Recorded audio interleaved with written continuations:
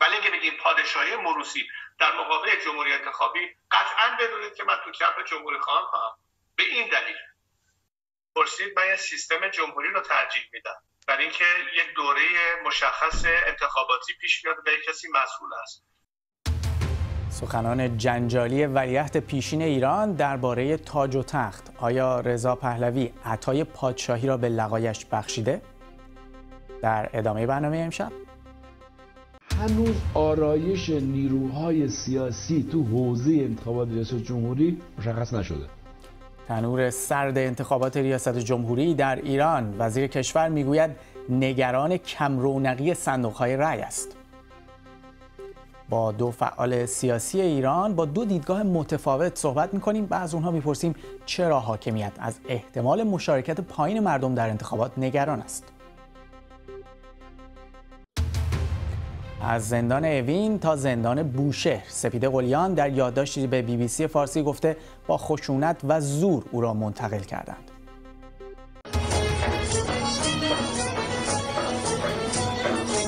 شب چهارشنبه سوریست میپرن از روی علو زردی من از تو سرخی تو از من. در آخرین شب چهارشنبه سال 1399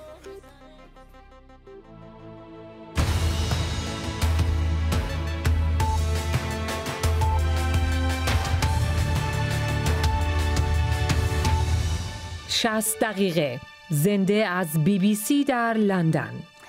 مبنای مروسی بودن پادشاهی را قبول ندارم. چهل سال از عمرم را تلاش نکردم که به یک چیز ناقص برگردم و اگر بین پادشاهی مروسی و سیستم جمهوری حق انتخاب داشته باشم جمهوری را انتخاب می کنم اینها بخشی از سخنان تازه شاهزاده رضا پهلوی است که بسیاری از هوادارانش را با سوالهای اساسی مواجه کرده.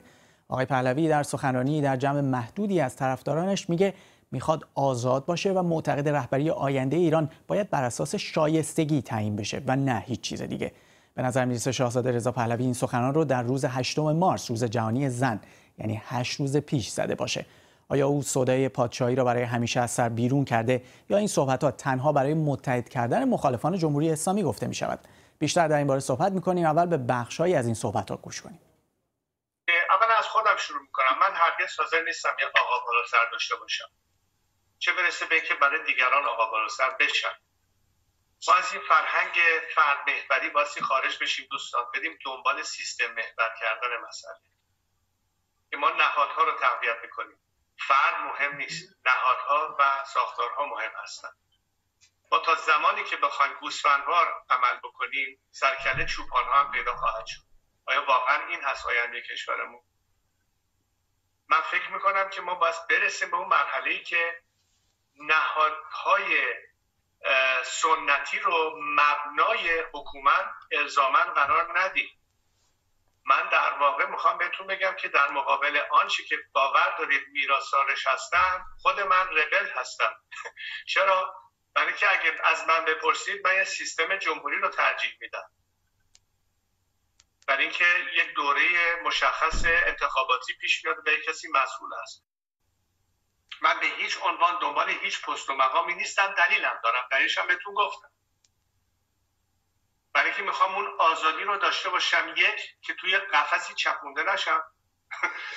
آزاد باشم با هر ایرانی هر زمان آزادی حرفمو بتونم بزنم و حرفش رو بشنوم و بر مبنای اون واقعیت ها ببینیم که چگونه می‌تونیم مملکت رو پیش ببریم. ببخشید دوستان یه چیز خیلی واضح بهتون بگم. اگه ما طرفدار حقوق بشر هستید فکر نمی کنید که تحمیل کردن یک وظیفه سنتی و سمبولیک به خانواده ای نقض حقوق بشر اون فرد و افراد خانوادهش می‌تونه باشه؟ ابتدا به ساکن. اختیاری نمی‌تونه باشه. قبول مسئولیت زورکیه تحمیلیه. یه ذره فکر کنید راجع به مسائل آیا می‌خوایم به دنیا بگیم که ما یه مملکتی هستیم که هنوز یه کسی رو می‌کنیم آقا بارسر خودشون و اون نقشم تازه بهش تحمیل می‌کنه و اسمش رو می‌ذاریم فرهنگ. بیتعارف میگم بهتون. یه ذره فکر کنیم راجع به مسائل اما می‌تونیم بگیم چرا ما ایران یه کشوری هستیم که برای اولین بار میایم میگیم که چه جمهوری چه پادشاهی ما این نهاد رو بر مبنای انتخاب یا پیشنهاد شایستگی یک فرد قرار میدیم. بنا به قبول این مسئولیت توسط اون فرد. حالا چه می‌خواد کاندید نخست وزیری باشه یا رئیس جمهوری باشه یا فرض بکنید یه پادشاهی در آینده می‌تونیم تعیین بکنیم. برای من اون چیزی که ایکولایزر هستش مبنای انتخابی اون نهاد هستش در شکلش. ولی اگه بگیم پادشاهی موروثی در مقابل جمهوری انتخابی قطعا بدونید که من تو کف جمهوری خواهم.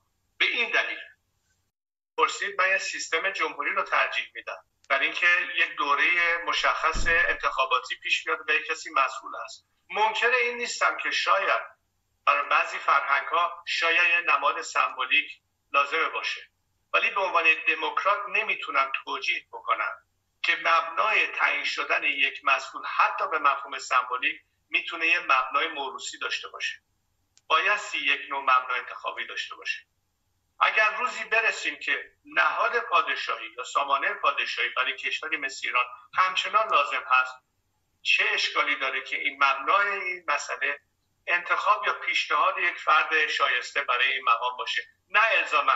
بر مبنایی که اگه کسی پدرش یا مادرش کاری بود فردا قرار این مسئولیت رو داشته باشه بر مبنای بروز من نمی‌تونم به عنوان یک دموکرات این مسئله رو برای خودم توجیه بکنم. ولی نه من یه نقش تحمیلی رو قبول خواهم کرد و بهتون دارم میگم. من ترجیح میدم که اگه قرار یک مقام سمبولیک داشته باشیم مبنا چه مبنایی باشه که نهایتا مردم درش تاثیر گذار باشه بخشی از صحبت های شاهزاده رضا پهلوی بود که به تازگی ایراد شده بود در یک جمع خصوصی شهریار آهی فعال سیاسی از ویلنیوس پایتخت لیتوانی با ما آقای آهی رابط معاوضه شاه پهلوی و کاخ سفید در زمان ریاست جمهوری جیمی کارته بود بین سالهای 1978 تا 79 های آهی شما رابطه نزدیکی با آقای پهلوی هم دارید؟ صحبت های او رو شنیدید؟ چقدر از این صحبت ها جدید هست؟ خیلی جدید نیست ولی به مرور زمان سیغل پیدا کرده. ایشون یه فردی هستن که من تو این چل سال اخیر دیدم دائم پیشرفت می‌کنن. دائم فکرشون نوسازی میشه. و بخصوص با الهام گرفتن از شرایط کشور که دائم به فکرش هستن بخصوص با تماسی که با نسل جوان دارن در ایران حسی دارن راجع به اینی که این جامعه چی می‌خواد و چه نمی‌خواهد. یه سنت شکنی هم توی پهلوی وجود داشته. پدر بزرگ ایشون خاطرتون هست.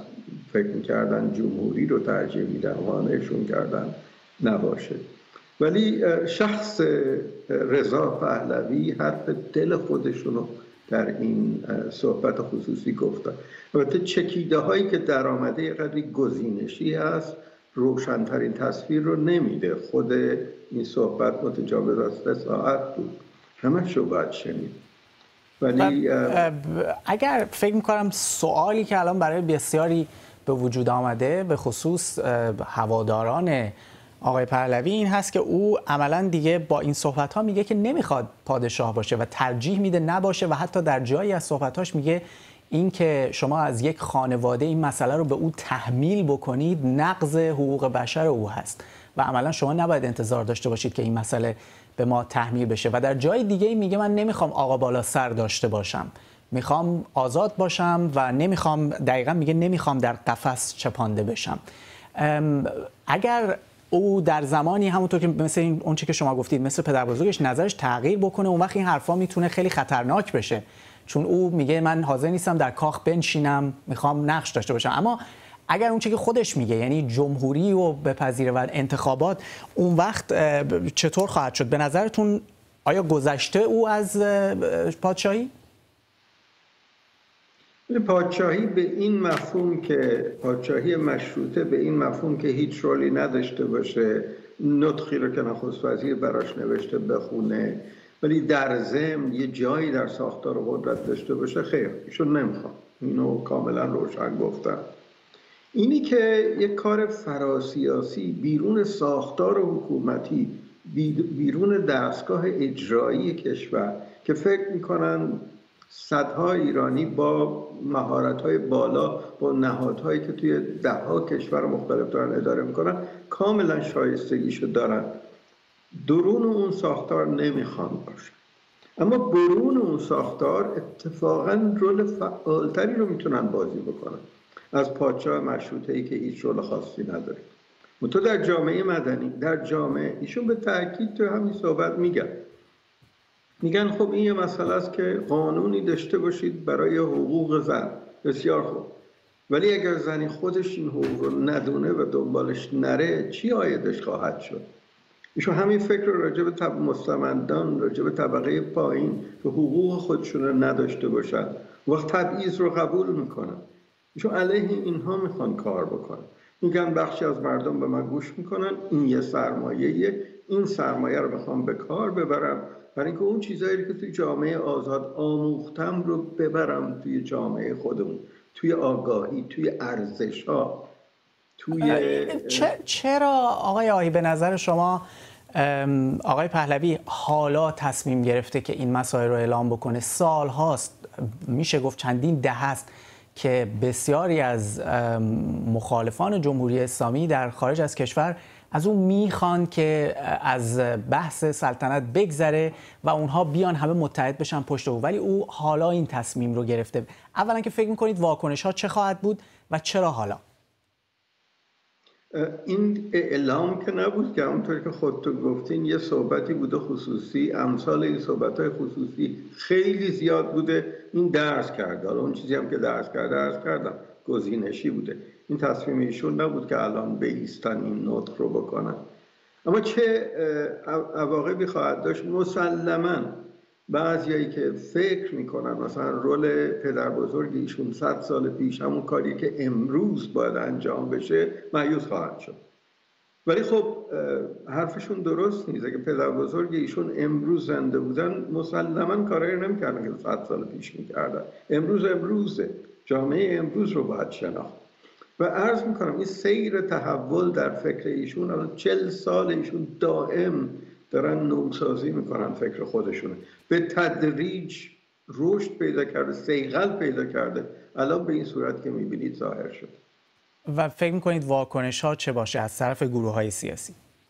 بدیهیه که همونطور که عرض کردم کسی که رول سنتی یه پادشاه مثل پدر بزرگ ایشون مقتدر خودش زمام امور کشور رو به دست بگیره اونو معیوز خواهد شد. ولی بخش بزرگی به خصوص جوانایی که اونام مثل ایشون آقا بالا سر نمی‌خوان تبعیض نمی‌خوان مساوات می‌خوان. خیلی از جمهوری خواه مسلمه که اونها گرایش بیشتری به ایشون پیدا کنند.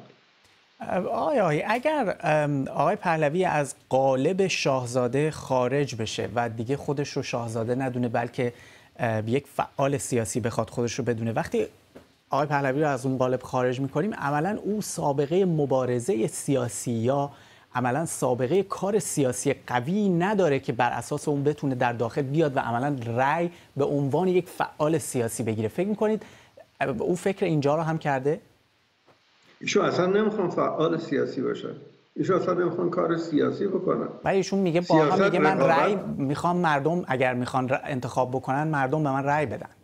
نه نگفتن مردم به من رأی بدن. نه میگن انتخاباتی باشه و در اون به صورت ببینین اگر به علت اینی که این یه سرمایه که مخاطبین ایشون دارن رو به ایشون بکنن جمعی مهستانی نخبگانی برگزیدگانی و بر مبنای شایسته سالاری بر مبنای اثر کلام ایشون که مثبت ببینن این رول رو به ایشون بدن این کاملا فرق داره.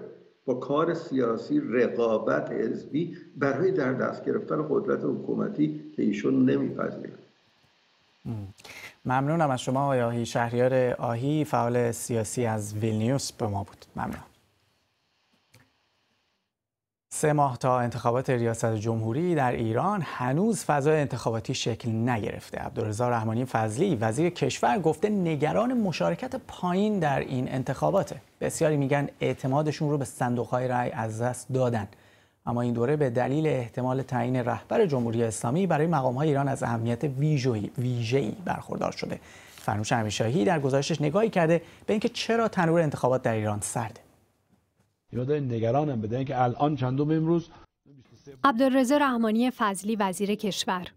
دلواپس میزان مشارکت مردم در انتخابات ریاست جمهوری سال آینده. هنوز آرایش نیروهای سیاسی تو حوزه انتخابات ریاست جمهوری مشخص نشده. سه ماه تا انتخابات ریاست جمهوری خبری از شور انتخاباتی نیست. بسیاری از مردم مدت هاست که می‌گویند از رأی دادن ناامید شدند. به هیچ وجه من توی انتخابات هیچ انتخابات شرکت نمی‌کنم. هر موقع صداقت ببینیم و دلسوزی که نیست. برای اینکه خیلی ناراضیم. هیچی روی حرفایی که زدن اصلا اون نبود. همش دروغ بود. چیزی نیست که حالا بخواد با یه اتفاق کوچیک سری نظر مردم عوض شه. باید خیلی کارا بکنن. خیلی زمانی برای تا نظر مردم باز عوض شه. به عنوان یه زن مسلمون با حجاب یعنی یه کاری کردن که مثلا همه درا بسته شد. بعضی هم برای رأی دادن شرط و شروط دارند. پشت پرچم اسلام قائم نشه. فقط به محدوده این که چون اعتقاداتش قویه ما نمی‌تونیم بهشون رأی بدیم. اگر احساس کنم یا بدونم نفر بعدی که میاد برتر هست نسبت به آقای روحانی رأی میدم.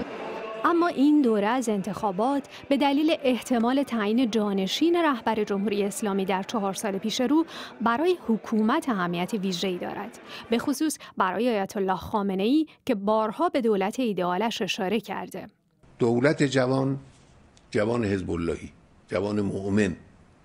به نظر من علاج مشکلات کشور هست و می‌توانه کشور را از راه دشوار عبور بده.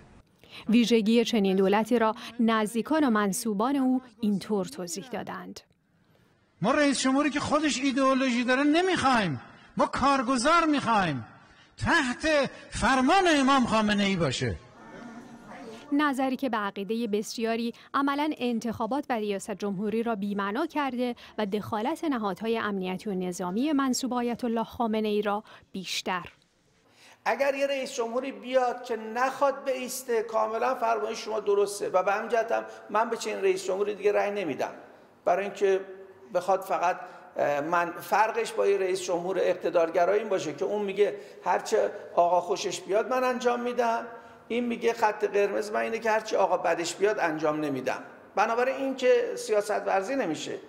مصلحت ملت کجا رفت؟ نتیجه محدود شدن اختیار عمل رئیس جمهور در ایران به زمین ماندن بسیاری از وعده های انتخاباتی بود و به تدریج مردم را به حکومت بیاعتماد کرده. همه ضعف ها و همه ناکارآمدی ها را نمی‌توان پای تحریم نوشت. من دولت راستگویان و درستکاران را تشکیل خواهم داد.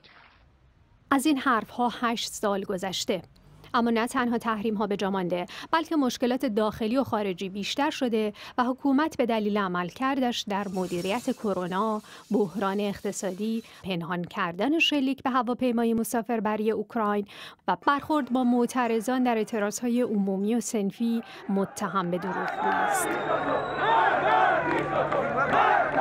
در چنین فضایی جریان های سیاسی همچنان به دنبال راهیابی به ساختمان پاستور هستند. بسیاری اما از عمل کرده هیچ کدام از جریان های در قدرت راضی نیستند. مردم این روزها بیشتر درگیر صف مرغ و مواد غذایی و نگران از روند کند توزیع واکسن کرونا. زمانی صندوق رأی تنها راه موجود برای کمی تغییر و آزادی بود. حالا اما خیلی ها معتقدند راه اصلاح لزوما از صندوق رأی نمیگذرد. فرنوش امیرشاهی بی بی سی در روی انتخابات که کم و بیش داغ میشه عملا بحثا در مورد شرکت کردن یا نکردن در انتخابات هم داغ میشه ما در این مورد امشب بحثی خواهیم داشت با دو مهمان برنامه که می‌بینید. اما از شما بینندگان برنامه هم خواستیم نظراتتون رو درباره شرکت کردن یا تحریم انتخابات برای ما بفرستید. بخشی از پیام های شما رو بشنویم بعد برمیگردیم به بحث. من هنوز به این نتیجه نرسیدم که رأی باید بدم یا نباید بدم. اینو در واقع نگه داشتم این تصمیم گیری رو تا زمانی که ببینم افرادی که اجازه نامزد شدن خواهند گرفت. کیا هستن؟ آیا آدم هایی هستن که امیدی هست به این که تغییری بتونن ایجاد کنن یا نه؟ من به شخصه به هیچ وجه شرکت نمی کنم تو انتخابات. پدرم مادرم خانوادم همسرم اطرافیانم هم شرکت نمی کنن. چون این دولت هر دولتی که سر کار اومد جز دروغ چیزی نبود. فقط خودشون دزدی کردن و خوردن و یه جوری به شعور مردم توهین کردن. و کلا من با این حکومت هیچ رضایتی دیگه اصلا به وجود این حکومت ندارم چون همه چیزشون پر اساس دروغ و ظلم. جمهوری اسلامی انتخاب من نیست. واقعا به ما ظلم می‌کنن. یک ذره به مخالفینشون احترام نمی‌ذارن. اینا از داعش بدترن از طالبان بدترن. لذا اصلا شایستگی حکومت به ایران ندارن. مخالفین هم که به شدت سرکوب می‌کنن اعدام می‌کنن. دلت به چیشون خوش باشه. وقت انتخابات می‌رسه التماس می‌کنن. بعدش هزاران مشکل برای مردم وجود میارن. اقتصاد الان من فلج داغون. نتیجه چیه؟ نتیجه لجبازی با دنیا. تا نظام جمهوری اسلامی هست رأی نخواهم داد. ما برای بازگشت ثبات و آرامش اقتصادی به کشور و همچنین برای اینکه نشون بدیم ایران رو همچنان دوست داریم باید مشارکت کنیم من فکر می‌کنم که الان روزیه که باید ایران دوستان خودشون نشون بدن. روز جدایی روز نیست. امیدوارم همه بیان پای کار و این مشکلات رو حل کنند ولی اصلی ترین اصلی ترین دلیلی که من رأی بهشون نمیدم آبان 98 هستش. اینکه بخوایم ما بیایم تو خیابون ما رو بکشن بعد بهمون بگم بیاین حالا رأی بدید خیلی مزهکه چون به این نتیجه رسیدیم ما همه که انتخابات یک چیز علکیه تو ایران و هر کسی هم که بیاد انتخاب بشه داخل ایران چه با رأی مردم و چه بی رأی مردم هیچ فرقی به حال این مردم صبور متاسفانه نداره. تنها راهی که می‌تونیم حرفمون رو بزنیم فعلا رأی دادنه.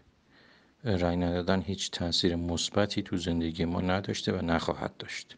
شرکت در انتخابات به منزله تایید جنایات رژیم مخصوصا تو یک سال گذشته است. من یک نفر به هیچ عنوان در انتخابات جمهوری اسلامی شرکت نمی کنم و خودم رو در جرم و جنایتی که جمهوری اسلامی در حق کل مردم ایران مردم منطقه و شاید تا حدود کمتری مردم دنیا داره به عمل میاره شریک نمی‌کنه برای بحث بیشتر مهدی خزلی به ما پیوسته فعال سیاسی از تهران. آقای خزلی طرفدار مشارکت در انتخابات هستن و همینطور مرتضی اسماعیل پور روزنامه‌نگار از کانزاس سیتی. آقای اسماعیل پور مخالف مشارکت در انتخابات هستند آقای خزلی وقتی ما از خواستیم از بینند از کسانی که برنامه ما رو می‌بینن که برای اون پیام بفرستن تعداد خیلی کمی واقعا این بار میشنویم ازشون که فکر می‌کنن که شرکت در انتخابات دردی رو دوا می‌کنه. چرا فکر می‌کنید باید در انتخابات شرکت کرد؟ با سلام خدمت شما و میهمان عزیز و بینندگان. ببینید همه ما می‌دونیم که وضعیت موجود قابل تحمل نیست و یک تغییر و تحول اساسی باید انجام بشه. این بدیهی طرفین می‌دونن. اما یک گروه تصورشون این است که با تحریم می‌تونن تأثیر باشن و عدهای معتقدن با مشارکت بیشتر می‌توانند تاثیر بذارند. قدم اول می‌خوام در مقدمه بگم متاسفانه تحریم کنندگان با کاریکاتورها با الفاظ زشت با کشیدن رای دهندگان به صورت گوسفند و چارپای و یا احمق خواندن یا خائن خواندن این روش غلطه. باید بدونیم دو تا دیدگاه با احترام به دیدگاه ها نیام به اون افرادی که خب توی مملکت 60 درصد 70 درصد 65 درصد مشارکت داشتن. عزیزانی که موافق وقتی احمق و چارپا می‌خوانند شرکت کنندگان رو به 60 درصد جمعیت ایران اهانت کردن حالا برگردیم سر اینکه چرا باید رای داد؟ جواب اون رو ندادیم خب، شما. حالا اول این مقدمه ای بود که ما اهانت نکنیم هر دو اندیشه رو احترام بذاریم اما چرا باید رای داد؟ ببینید در کشورهایی که بشود تحریم آنقدر گسترده باشه همه با هم باشیم و بتونیم مشروعیت اون جناح حاکم رو بگیریم ازش. اگر تونستیم بسم الله اما در ایران در این چهل و دو سال هر وقت تحریم کردن مثل شورای دوم که خروجی شد آقای چمران و احمدی نژاد شد رئیس جمهور شهردار بعد رئیس جمهور. یا مجلس هفتم و هشتم و نهم ما می‌بینیم چه بلایی سر جامعه ما آورده به خصوص مهمترین تحریم مؤثرترین تحریم تحریم دفعه قبل بود. باز 40 درصد شرکت کردند کمترین نرخ 40 درصد بود. می‌بینیم در پارلمان فرانسه ما آمار 18 و 19 و 20 هم داریم. خب نمی‌تونه با این آمار مشروعیت یک نظام رو ازش بگیریم و نمی‌تونیم اجازه... این آمار رو بیاریم پایین. اجازه... وقت نتیجه شد. یک پادگان بهارستان جناب سرهنگ داره اونجا قانون وضع می‌کنه و قانونی که اون وضع می‌کنه پدر منو در میاره. بله بعضی از عزیزان خارج از کشورن. این فشارهای قانون بر اونها وارد نمیشه. قانون جناب سرهنگ ما یه موقعی خونده بودیم نرینه گروهبان رجب علی خان به جای مواد قانونی نشسته. الان این جوک قدیم قانونی شده و جناب گروهبان سرگروهبان نشسته اونجا و به جای ماده قانونی هم همون بحثاتی که می‌گفتن آقای, آقای اسماعیل پور رو هم بذارید وارد بحث بکنیم. آقای خزلی معتقدن که عملا رأی ندادن هیچ وقت تغییر مثبتی رو ایجاد نکرده بلکه وضع بدتر شد به همین خاطر باید رأی بدیم. پاسخ شما.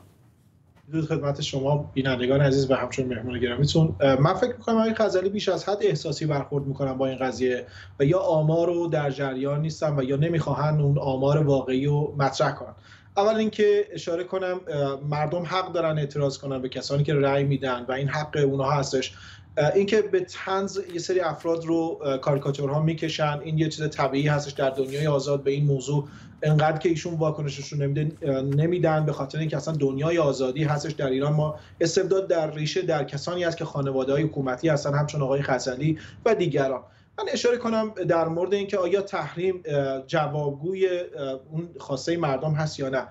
اشاره کنم مشخصا به تحریم هایی که در سال 2018 رخ داد در ونزوئلا زمانی که دولت مادرو مردم تحریم کردن انتخابات و در نتیجه اروپا آمریکا و کشورهای زیادی حکومت مادرو رو به عنوان حکومت رسمی نشناختن و در نتیجه معترضین تونستن پس از چند ماه اعتراضات بسیار قوی داشته باشن و در نتیجه مشاهدش بودیم. که چه اتفاقاتی رخ داد و یا در سیسی که در مصر عبدالفتاح سیتی اون رفتار با کنشگران کردش و خواستش اون مشارکت انتخابات رو به نفع خودش خط کنه. اما در نتیجه به سلب مشروعیت خودش خط شد. به نوعی میشه گفت در مجامع بین المللی ایشون مورد زیر سوال قرار گرفتن. اما یک نکته اشاره کنم این که آقای خزلی میگن انتخاب در اگر تحریم کنیم نتایج منفی به بار خواهد اومد. ایشون فکر کنم در یادشون نبوده یا ایران نبودن اون زمان که دور آقای عارف به عنوان رئیس مجلس قرار گرفتن. و ما شاهد چه رخدادهای تلخی در ایران بودیم و عدم حمایت اصلاح طلبان که به صورت حد اکثری در مجلس بودن.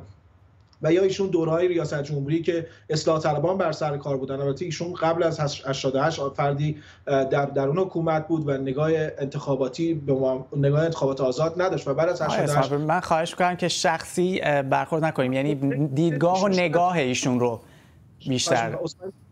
این نگاهیشون قبلا اش ولی از سال 88 به بعد موضع اعتراضی مردم موضع بسیار مشخصی هستش. مردم هر دوره انتخابات کمتر شرکت کردن چرا که مشروعیت حکومت رو قائل نیستن. و من بله قبول دارم مردمی هستن که نگاه به اصلاح حکومت دارن. اما رفته رفته این نگاه اصلاحگری در حکومت به عنوان فرصتگری شده و کسی در ایران نیست که دغدغه مردم رو داشته باشه و سیاستمداران کسانی هستند که در بازی های آقای خامنه ای شرکت می‌کنن. اجازه بدید من بگم که معتقدم الان رئیس جمهور انتخاب شده ولی کاندیدها معرفی نشدن. آقای خزری در ابتدای صحبتتون گفتید که همه می‌دونن که ما نیازمند یه تغییر بزرگ هستیم یه تغییری که عملا ریشه‌ای باشه. ولی وقتی آیا فکر می‌کنید از صندوق رأی اون تغییر بیرون خواهد آمد؟ ببینید من در تکمیل سخن ارز کنم که تنها راه رسیدن در مسیر مبارزه مدنی آری از خشونت صندوق رأی. ما راه دیگری نمی‌شناسیم. اون مطلبی که من ارز کردم عزیز بزرگوار گفتن ما اعتراض رو نقد و همه اینها رو میپسندیم. اما اهانت نه.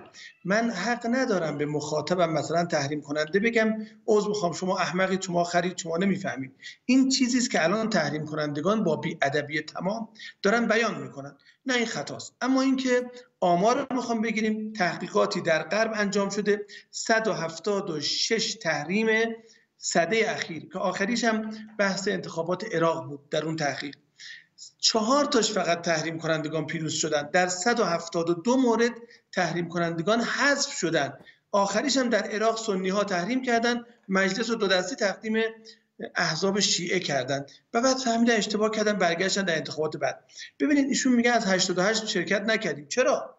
ما در سال 92 پیروز بودیم با هجوم به صندوق ها 94 همینطور 96 هم همینطور. ما سی بر صفر رفراندوم برگزار کردیم. جناح حاکم مستبد خودکامه است. او که اجازه رفراندوم نمیده. ما در پای صندوق ها سی بر صفر 15 بر یک 21 بر صفر برنده شدیم پیام داشتیم. گفتیم هر چه تو بخواهی ما نمی‌خواهیم و نه گفتیم به جنای حاکم. ما هر فکتی در این 42 سال داریم از حضور مردمه. اگر می‌بینیم نماینده حزب جمهوری 600 هزار رأی میاره و بنی صد 11 میلیون یعنی مردم آمدن. هم تمام انتخابات انتخابات سلبی حتی رأی به احمدی نژاد رأی به روحانی رأی به خاتمی سلبی است نه به جناح حاکم است.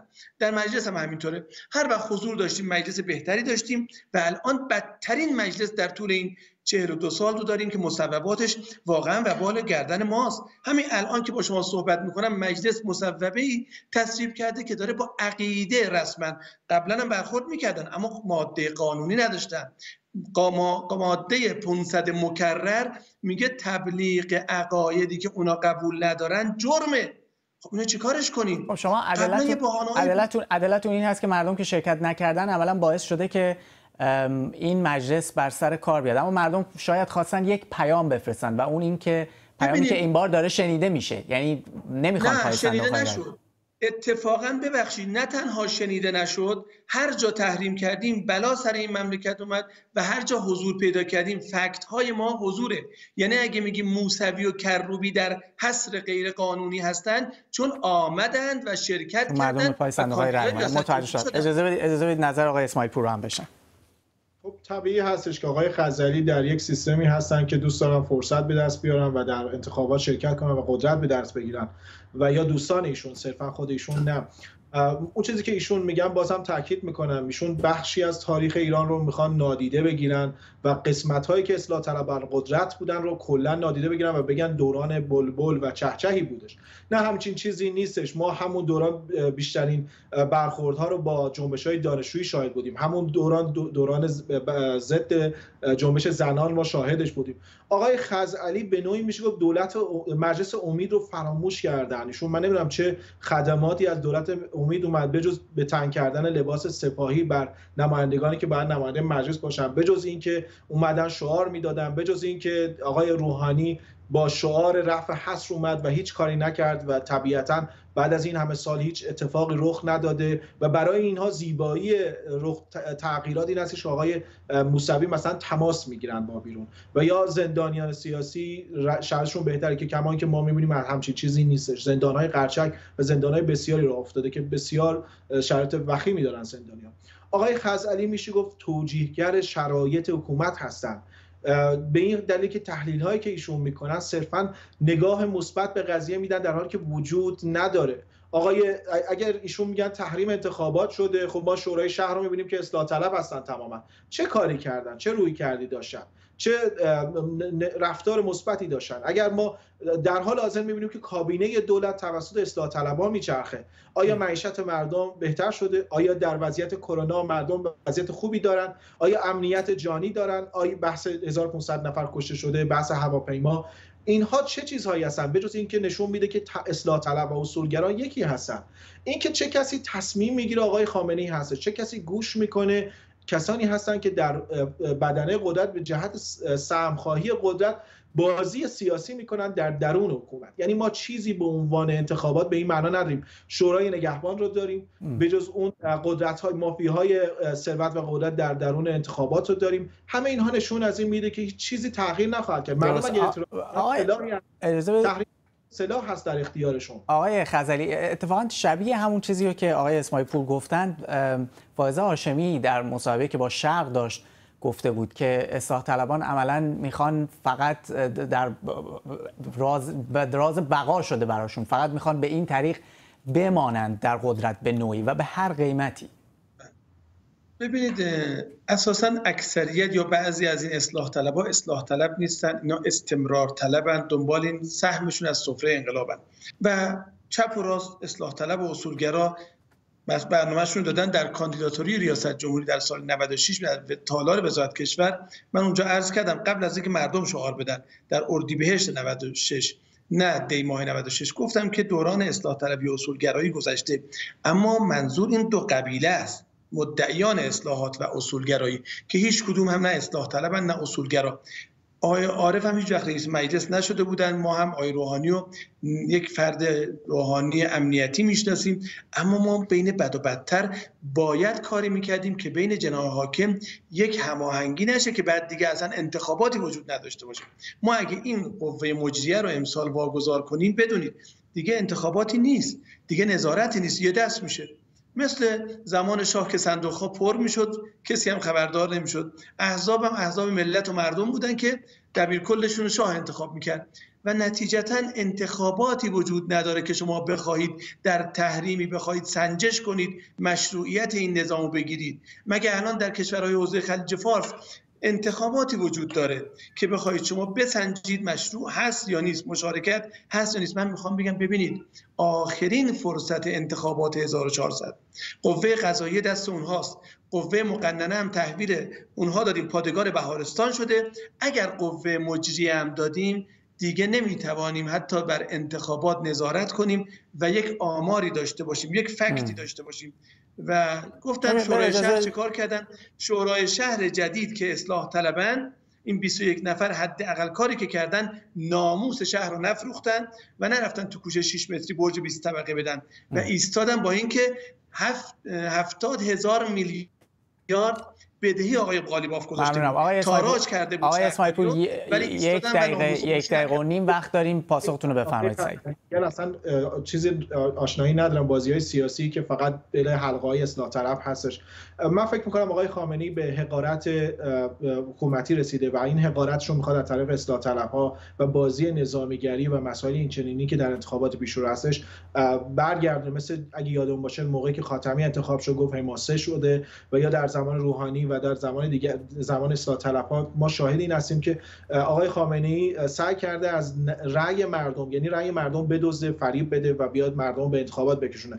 آقای خزلی مشخصا چیزی که میگن با اون چیزی که در معیشت مردم از سر سفره مردم در تناقض هستش چرا که ایشون اصلا دغدغه مردم رو دغدغه ایشون سیاست فعالیت سیاسی هستش. و مردمی که میان تو خیابون اعتراض می‌کنن و میگن ما دیگه این حکومت رو نمی‌خوایم با تحریم نمی‌خوایم این کارو کنیم مشخص یعنی یه چیز مشخص واحدی میگن.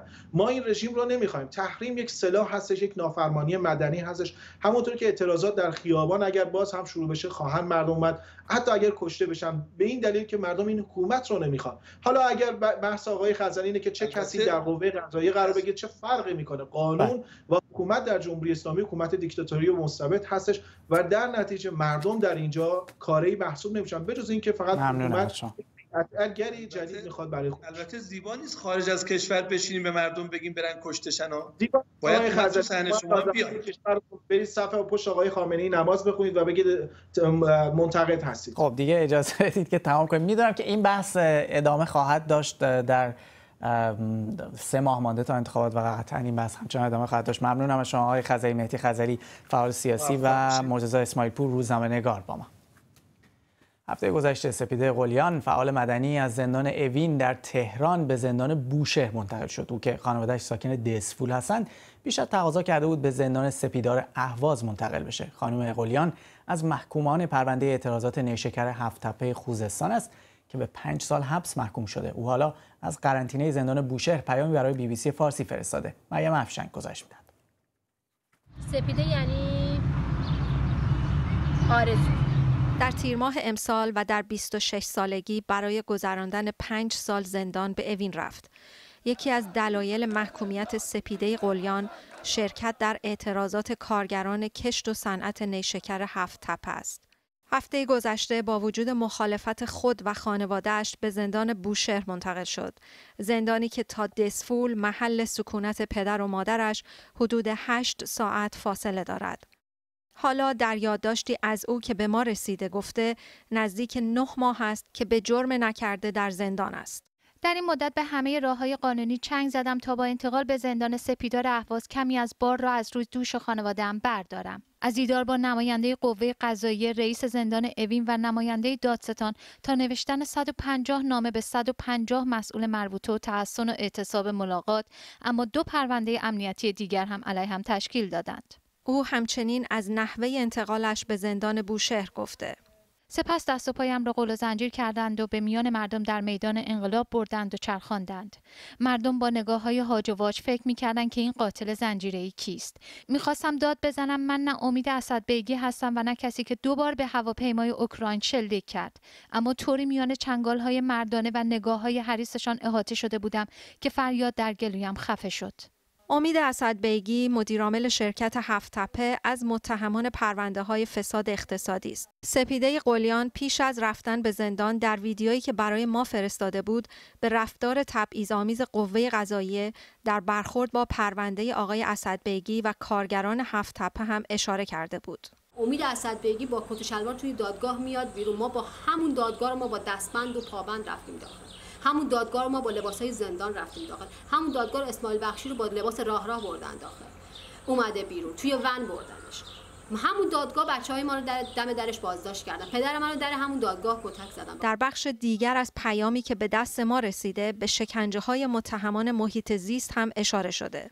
کافی است کمی به آنچه بر سر سپیده کاشانی نیلوفر بیانی و دیگر هم پرونده هایشان گذشته بیاندیشیم تا بدانیم نام آنها مترادف با تبعیض شکنجه زندان و قصاوت دستگاه های قضایی است که هیچ بویی از عدالت نبردند سپیده قلیان در آخر با تاکید به رنج هایی که به زنان زندانی در ایران به ویژه نیلوفر بیانی و سپیده کاشانی رفته می‌گوید. و حالا من به بندری منتقل شدم که خواهرانم برای حفاظت از حیات طبیعی دریای آن از جان خود گذشتند. اما مزدشان مانند کارگران و دلسوزان هفت تپه سرکوب زندانی و شکنجه بود.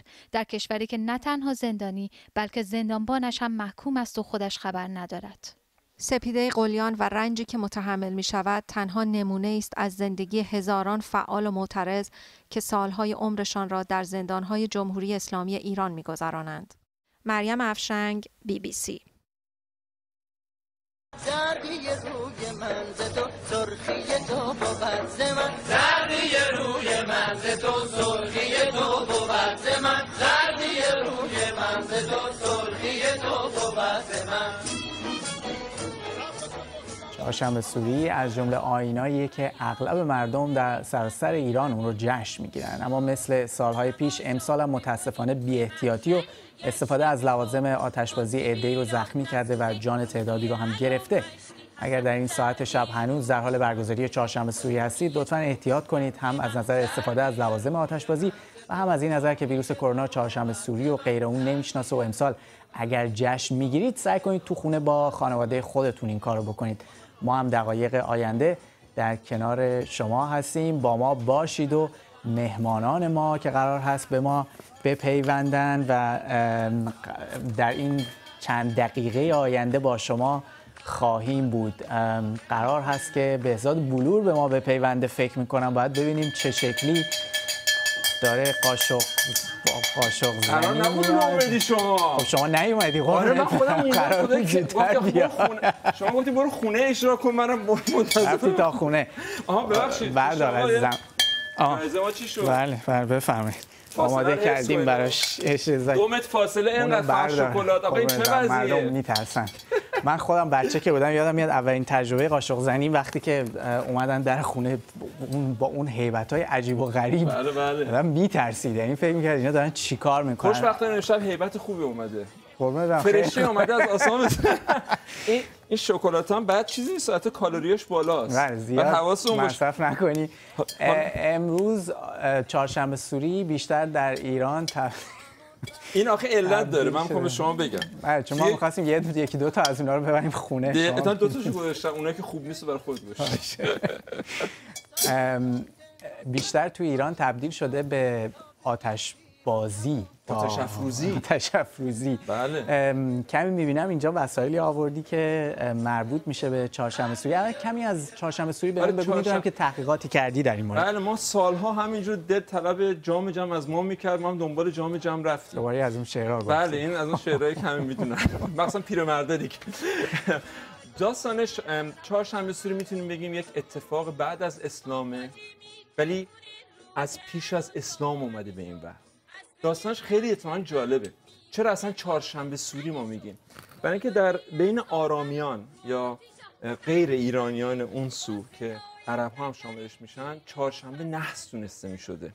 به این خاطر که می‌گفتن قابیل برادرش کشته یا حابیل قابیل کشته. من جه نوشتم باز یادم رفت. چهارشنبه. و در چهارشنبه روز این اتفاق میفته و اصولا این روز رو نحس میدن بین مسیحیان هم که از اون قسمت میان از باز از همون خطه ها میان اونها هم یک جشنی دارن به اسم خاکستر چهارشنبه یا خا- خا- چهارشنبه خاکستری که در اون روز که اول چهل روز روزشونه چله نشینی عیسی مسیحه اونو جشن می‌گیرن که اونم باز شب چهارشنبه شروع میشه که با خاکستر برگ های نخلی که یک عید پاک گذشته آتیش زدن چون در اون روزها انگار مسیح وارد اورشلیم یا بیت المقدس شده بوده به یاد این همچین چیزی بوده. آتیش زدن صلیب می‌کشن و خلاصه اینو به جا میارن که چند روز پیش بود برای چه روز روزشون برای ما هم این چهارشنبه یه جوری قتل سیاوش افسانه. چون سیاوش یک شاهزاده باستانی ایران تاریخی ما بوده که بهش تهمت مثل یوسف و زلیخا بهش تهمت می‌زدن که نامادریش رو دوست داشته در که نامادری رو دوست داشته خلاصه اتفاقاتی افتاد این برای ثابت کردن که بیگناه است از توده از آتش رد میشه با اسبی سیاه. رد میشه و ثابت می‌کنه که بیگناهه. و بنابراین رنگ قرمز و سیاه همیشه تو این ایام آه هست. اتفاقی که میفته میگن نزدیک بین چهارش یا در شب چهارشنبه سوری اون سرشو می‌برن. من رفته بودم به ازبکستان ارگ بخارا. که یعنی قصر بزرگ شهرهای قدیم باش حصار داشته می‌گفتن ارگ یعنی پادشاه تو اون زندگی می‌کرد. 5000 نفر اونجا بود میگن که هنوز پیرمرد یعنی سن بالاترها یک سرودی دارن در, در وصف سیاوش که میگن در این روز مر- کشته شد به ناحق. و یه خروسی هم بر. بله بله سیاوش خون... بهش میگن کین سیاوش و خون سیاوش. و حتی میگن در ایران لاله های در زاگرس هست که به اسم مثلا همین سیاوش معروفه به خاطر اینکه لالا سر پایین هست. برای من یکی این این جریان نحسی چهارشنبه و این قتل و ایناست. در این حال در ایران باستان که هنوز کردس... کردها همین اه، سنت دارن رو پشتیبونا آتیش روشن می‌کنن شب نوروز. این آتیش روشن می‌کنن که فروهرا از آسمان ببینن خونه ها رو خوشحالشن بیان مهمون, مهمون خونه ما بشن. بنابراین آتیش اون پشت بون اینا خلاصه به هم شد چهارشنبه چون که در آین مزه یا زرتشتیان بیادبی از روی آتیش بپری. ولی ما بعد از اسلام سعی کردیم این سنت رو یه جوری حفظ کنیم بگیم بیماری من به تو میره پاکی و خوبی تو به من میاد. واسه میگه زردی من از تو یعنی به تو مال تو سرخی تو از من. سرخی- یعنی خوبی تو خوشبخت. می‌بینم که اینا چیزا جالبه. چیزای دیگه هم داری از شما من جمله- بری کنی من میرم. آره شما میری. مگر شما اصلا بری من برنامه رو شما می‌تونی بقیه برنامه رو کنی. من چند تا چیز آگهی برنامه نوروزمون باشه. خب. با شما ها. بفرمایید. این هم که می‌ذاریم اینجا انرژی نوروز ما نوروز 8 صبح لندن 11 و نیم ایران 12 و نیم افغانستان. برنامه زنده نوروزی در همینجا داریم حتی این. قسمت رو می‌خوایم عین بهار کنیم. پر از گل و بطه خدا رحم کنه. شب قبلش برای کارو بکن. خدا کنه کمک. و بعد یه سری از سنت های قدی... امروزی دورور ایران تاریخی. افغانستان و تاجیکستان هم اینجا زنده خواهیم کرد در این برنامه. که یکیش اینه. که این اینو می‌زنیم اینجا اینم توش آب در زمین. بله. واقعیت داره اینا خیسش. اینو این یک سنت مادرمه یا پاگوشا یا شگون که توی طرف های دریای خزره که اینو با آب میرن از موقع تحویل سال میرن بیرون. بعد سال که تحویل با اینا میان تو که این چهار گوشه خونه آب میپاشن. شما هم بعد توی این آینه نیا کنی یه نیتی بکنی. تو آینه نگاه نیت کن که پنج دقیقه دیگه من هنوز وقت داشته باشم صحبت کنم خیلی خوب میشه. بعدش هم میاد اینو گوشی یه جای به دیوار می‌ذاره یه چند پس سریع میگم. اینه اینو لو نمیدم. این یکی دیگه از سنت های است برای هفت سین. بله خیلی جالب. بعد بودش توی 13 به در می‌گفتیم 13 به در سال دیگر. شما شنیده بودیم گفتن بله. خونه شوهر میگه خونه زن. این به اون ربط داره و مال است مال هفت سینه. اینم یک سماق یک من از خونه همسایه کش رفتم چون سماق چند شکله. بله این در از خوششه. بوته هاش خوشمزه تر و ترشتر اینا درختاشه که ما کش داریم تو لندن خیلی زیاده. و من با عزه خود یارو به خیال خودم یارو چه گندی. صابونه اینو باشن این رو هم به اون این خیلی جالبه و این از یک موزه خصوصی من آوردم که شما ببینید لذت ببرین. این هفت پر انگار هفت سین هستش. یعنی در اصل این ایزد یا خدا و هفت فرشته که دورش هستن و ما می‌بینیم هفت سین و اینا درست بعد از اسلام شد هفت سین هفت شین هفت می درست هفت تا فراورده زندگی بود. ولی بعد از اون این مال دوره مادها یا پیش از هخامنشیه. از سنگ مال کلکسیون خصوصیه.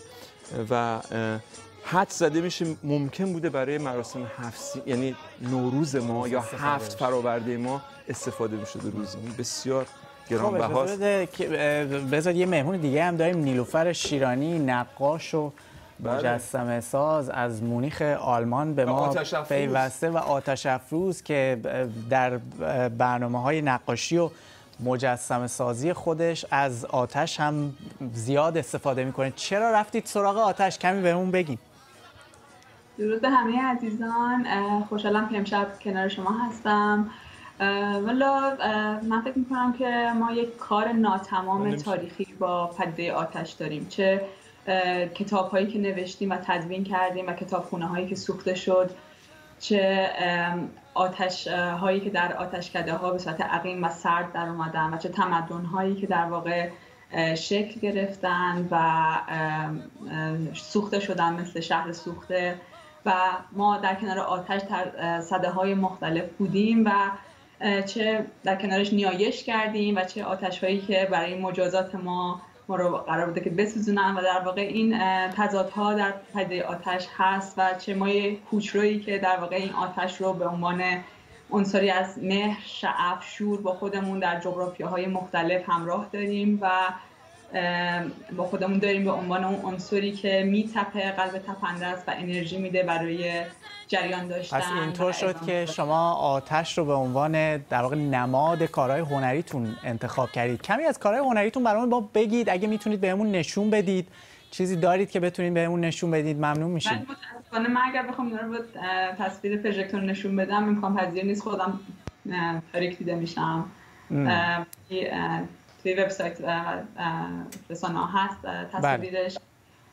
به صورت کلی می‌تونم بگم که خب خود با سفال کار کردن خود سفال یک جوری سیاوشگونه از آتش گذر می‌کنه و تا به اون فرم سفالینه تبدیل بشه و اون عنصری هست که چهار تا عنصر اصلی رو در واقع در خودش داره آب و خاک و آتش رو و وقتی شکل می‌گیره که از اون آتش عبور بکنه. و یک جوری وقتی که سرد و سنگین میشه دوباره اووردن پیده آتش به عنوان یک روح زنده ای در کنار اون می‌تونه خیلی حالت زنده ای بهش بده و این رو من دوست داشتم که اون حالت زندگی در چیدمان های سرامیکی اتفاق بیفته و به این صورت استفاده کردم در اون. داره ولی نیرو فرجان شما استفاده من میشنم فکر می‌کنم بله خوب هست نیرو فرجان این شما رو نداره این خیلی کارهای زیبایی چون کاری که نیروفر می‌کنه میگن همچین و همچون. با سفال زنان تاریخی یا یا میشه گفت حضور زن در تاریخ رو بازسازی کرده. و مثلا ما فروهر داریم که مرده که از آسمان میاد با بالهاش که برای نوروز هم اتفاقا میاد. همون شده ایدیدنی ما. ایشون زنش رو درست کرده. هما رو داری. شیر ژیان. اینا رو نداری شما ببینیم ما. اگر که چند ثانیه صبر بکنیم چند ثانیه نیم آره، ثانیه من می‌تونم اینجا با بهروز با بهزاد صحبت کنم. بله، بله. برو بیارشون برامون. بد نیست که. نمیره خانم خانم بعد بریم آره. رفته قاشق زنی داشتم فکر می‌کردم آتش در واقع خاصیت پاک کنندگی که در بله. نظر گرفته میشه یادم افتاد یه جمله از سنت آگستین که میگه حتی آدم ها رو وقتی خداوند در جهنم به آتش, می‌بره دلیلش اینه که می‌خواد اونها رو پاک بکنه آها. و وقتی پاک شدن اونها دوباره برمیگردن بله. تمیز میشن خیلی چیز جالبیه یعنی برام همیشه این که حتی آتش در اسلام هم به نوعی خاصیت پاک کنندگی شاید بله ولی خب کاملا همونجوری فکر کنم نیلوفر گفت کاملا برعکس اون تصوری که ما داریم از آتش. این الان البته اینا چیزه این کار شمش رو نشون نداد. اینا واقعا ساخته شده و بسیار این سخت است به هر حال نشون دادنشون روی پروژکتور کار کار راحتی نباشه. ولی وبسایت تو بگو یا اگر اینستاگرام داری که بتونن بله. بیان و ببینن کاراتو بله. وبسایتم نیلوفرشیرانی دات کام هست. توی اون هست و توی اینستاگرام هم نیلوفر شیرانی استودیو هستش که وجود دارن هستن. من یکی از نوروز هم قرار دارم. روز نوروز, نوروز برنامه زنده داریم در برنامه بگم که برنامه واقعا دماوند آتش فشانه که در واقع این آتش فشان خاموش ماه و یکی از نمایانترین این داستانهایی که توی شاهنامه ذکر شده جایگاهی که زحاکی درش نگه دارن و هر لحظه امکان فورانش هست.